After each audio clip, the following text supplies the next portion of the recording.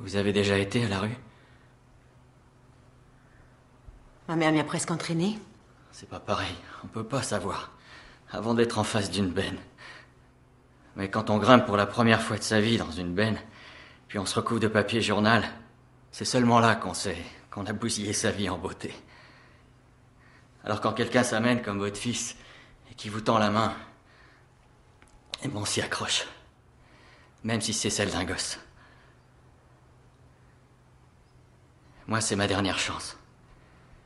De pas terminer au cimetière. Je comprends que, que vous essayez de rembourser Trevor, c'est très gentil. J'ai pas le droit de rembourser Trevor. Mais alors qu'est-ce que vous faites? Je passe le relais. Vous voulez que je m'en aille, je sais. Ouais, je m'en vais.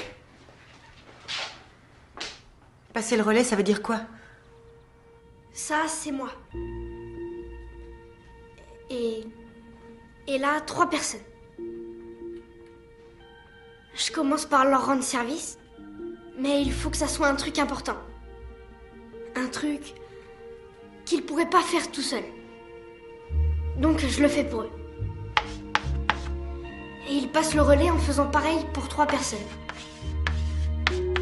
Ça en fait neuf. Et là, ça en fait trois autres. Ça fait 20. 27. Je suis pas très calé en maths, mais ça peut grossir très vite, vous savez. C'est trop nul. Ça va, ça va, ça va, ça suffit, ça suffit. Exprimons-nous clairement.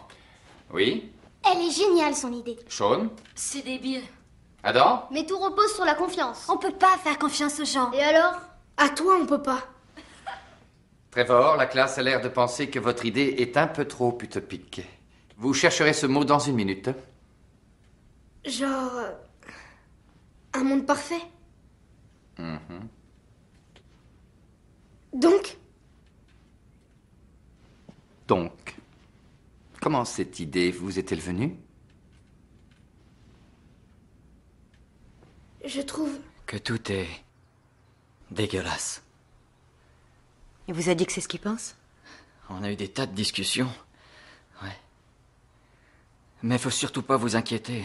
Je vais, je vais lui dire qu'on parlera plus tous les deux. Non. Au contraire. Ça vous dirait de boire un café? J'aimerais bien. Ça marche.